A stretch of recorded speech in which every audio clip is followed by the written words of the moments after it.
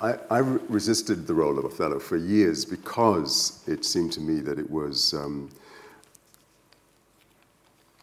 problematic in that the assumptions contained in the short story on which the play is based, uh, the conventions and the traditions, both literary and theatrical, um, just reinforced the notion that Shakespeare and Cinthio, the short story writer, were suggesting that black people uh, behave as they do because of their ethnicity. The white man in black makeup um, wouldn't have any uh, issues with that. that. That was just a given. You'd be following the convention.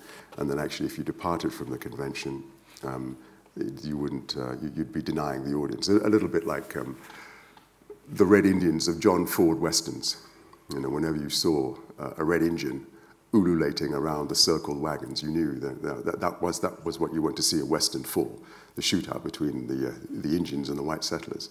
Um, and it seemed to me that the convention of the Moor in Elizabethan England on the stage, not just in Shakespeare's plays, but in other plays like the Battle of Alcazar, Lust's Dominion, the Stukeley plays, whenever a Moor appeared, that usually signaled something menacing or a threat to the uh, social, moral, and sexual order of society. Um, so uh, when a genuinely black actor comes to play the role, then it just seemed to me that it was important to be aware of the possible implications of the role um, and uh, resist any attempt to endorse what I thought might be racist assumptions. But look, let, uh, let me, that was just to give the background to that, that particular essay. But let me try to address the, the, the, the, the issue here. Is, is Othello a racist play? Um, to be fair to Shakespeare, we have to remember that he did not invent this plot.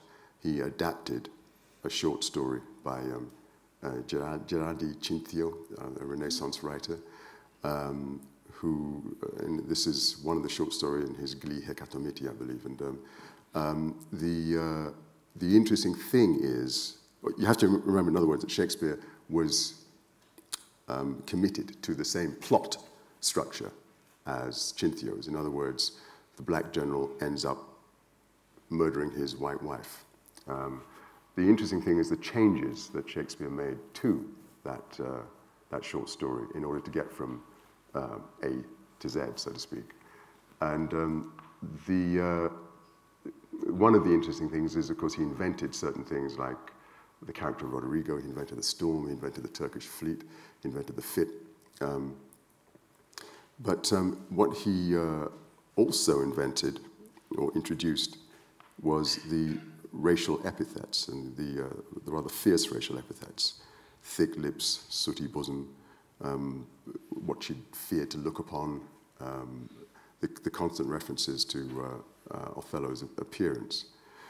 Um, so it's arguable then that um, although he was constrained by the original um, short story in plot terms, he was liberated when it came to introducing the, uh, the, the, racial language. Um, now, I know, of course, it's, it's a mistake to attribute the views of a character to the author necessarily. But um, when Shakespeare says, when Shakespeare has Iago say, these Moors are changeable in their wills, and then goes on to demonstrate precisely that, um, then I think it's fair to, to, to um, ask, well, was Shakespeare being a bit of a bigot here? Uh, the question arises also, did, did Shakespeare know any black people? Could he have known any black people? And the answer is yes, he could have. There were I think it's been established, you probably know your colleague Dr. Miranda Kaufmann, who's written a book called Black Tudors, and whom I, I interviewed for a program that I made for Radio 3 about uh, Othello. And she's established through parish records that there were several hundred. Uh, well, she has um, records of um, between, two, between two and 300 black people on parish records, but that implies that there was a much larger black population in Elizabethan England. Um, there were three ambassadorial visits from ambassadors from the, uh, the Barbary Coast states, um, because, of course, they had a common enemy in uh, Philip II of Spain. So the, uh, the, the, North African states, it was in their interest to form an alliance with Elizabeth I. So, um, yes, Shakespeare could have known some black people. The question in my mind is then did he do his homework? Did he bother to get to know any black people? If he didn't, was he being lazy? If he did get to know some black people and still wrote the Othello of the second half, who does become um, an obsessive murderous honor killer, was he being a bigot? Um, because he, the Othello of the first half is certainly magnanimous. He's astute, he's mature, he's experienced, he's wise. Um, and then in the space of a single scene, the so-called temptation scene, Act 3, Scene 3, which is admittedly a long scene, he is persuaded that his wife has been unfaithful, um, and not simply that, but that he should then murder her or um, execute her. Um, and, and, so, and, but there are only, although it's a long scene, there are only about 300 lines in the text as, as written between Othello saying, Perdition catch my soul, but I do love thee, and when I love thee not, chaos is come again, to his saying, barely 300 lines later, Now do I see it is true, look here, Iago, all my fond love, thus do I blow to heaven, tis gone. Now, the worry in my mind is that happens very quickly. Um, and perhaps the, because of the convention of the Moors being um, perceived to be uh, prone to jealousy, to uh, irrationality, to violence, that somehow was the, the subtext. Well, those Moors are like that, aren't they? That explains the rapidity of this uh, transition. Um, and there again, that's, that, that gave, gave me pause for thought. So um, the, the idea too that, um, just going back to the idea that Shakespeare, did Shakespeare do his research? And it's widely thought that he read uh, John Pory's translation of the uh, Geographical History of Africa by a man called um, Leo Africanus, um, in which he did make the point that no nation is so subject unto jealousy, uh, talked about the blemii, the, the men whose heads do grow beneath their shoulders.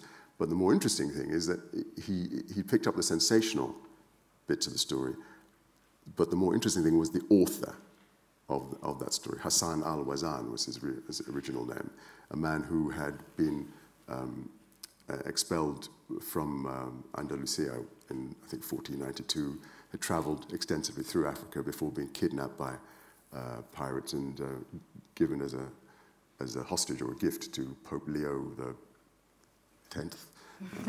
One of the Leos. who, who, then uh, baptized him as uh, um, Leo Giovanni Africanus. So, um, but that arguably was, uh, he arguably was a more interesting template rather than the sensational stuff that he wrote for his European audience. Now, um, we have to credit Shakespeare with sufficient imagination and intelligence to, to know that uh, what he read wasn't necessarily true. And certainly the Othello of the first part goes against the grain of the, uh, the Moor uh, as established on the Elizabethan stage. But then it, it is as if Shakespeare stretches the, the, uh, the, the bowstring very tautly, and that, so that when he releases it, the arrow flies very fast and very violently, violently to its target. In other, in other words, he, uh, he um, goes against the grain of characterization, but only to have Othello revert violently to type in the second part. I would chop her into messes, cuckold me, um, and, uh, and so forth. Well, as, as, as you know, we, we've played it. um, but uh, so, um, the, the more, uh, ultimately, the, the, question is um, what do we mean by racist? And to my mind, it's, um, it's fairly simple that where race becomes the prime, if not the sole determinant of character, of value, of, uh, of moral value. Uh, and the suggestion, any suggestion that a character behaves as he does because of his ethnicity is by definition racist. Any suggestion that a character behaves as she does because of her gender is by definition sexist. And, and so on, you, you, you, get the point. Um, but um, I, I, think there are degrees of racism. You know, I think sometimes you have to try a little harder not to be racist. I think, come on, Jeremy Clarkson, you could have tried a bit harder when you said "eeny, meeny, miny, mo," catching by his toe. You know, that I think um, was uh, lazy, casual racism. Um, it seems to me that um, there's racism by commission and racism by omission. And I would, I think my conclusion would be that Othello is racist by omission. And I say this because it seems to me that Shakespeare ultimately isn't that interested in Othello's psychology. I think he, the point that he wants to get to quite quickly is the seismic eruptions of emotion, the, the Othello music, what's become known as the Othello music, the, um, the elaborate verse like to the Pontic Sea and uh, you know, his, his great um, speeches. Um, why do I say he's not that interested in Othello's psychology? Because Iago has twice the number of soliloquies that Othello does. Iago's soliloquies enable him to engage directly with an audience in a way that Othello's soliloquies don't. Put out the light and then put out the light. If I quench thee, thou flaming minister, I can again thy former light restore, should I repent me. He's not talking to the audience, he's talking to a light. But once put out thy light, thou cunning pattern of excelling nature, he's not talking to the audience, he's talking to the sleeping form of Desdemona. Um, uh, in other words, Othello's um, soliloquies don't reveal very much about him. He doesn't, he's not allowed to develop the same kind of relationship with the audience as Iago does. Um, Othello is, if you like, one of the, um, the victims. One of, if, if Iago is the cause, then Othello is the effect. Um, it seems to me that Shakespeare could try, have tried a little harder to, um, to allow us to um, enter into the mind of, uh, of Othello, but he didn't. Um, and I think he resorted to a kind of comfortable, complacent attitude where I don't have to explain very much about, about these Moors because everybody knows what the characteristics of the Moors are. Which is why in our production, uh, we have uh, attempted quite assiduously to avoid any conclusion that Othello behaves as he does because of his ethnicity. Um, not simply because of the casting of a black Iago, but also Iago is subjected to, well, those of you who saw the production, to a, fairly harsh interrogation. mm. um, and um, it's, uh, it, at every point, it's made very hard for Iago to, to persuade Othello to put his plot into effect. Um, and, and by the way, the, the, um, the fit in our production was not an epileptic fit, but for those who um, aren't familiar with medical terminology, it was a transient ischemic attack, a mini stroke, which um, um, can often change the, uh, the brain structure and the personality. So we were at, we went to some lengths to try to um, uh, pull the play back from suggesting that Othello is gullible because of his ethnicity. We tried to make it much harder for Iago to persuade him, and therefore to make uh, Othello less of a fool and to make the play less racist. But so, yes, in conclusion, it's, um, it's a, a play that's racist by omission rather than commission.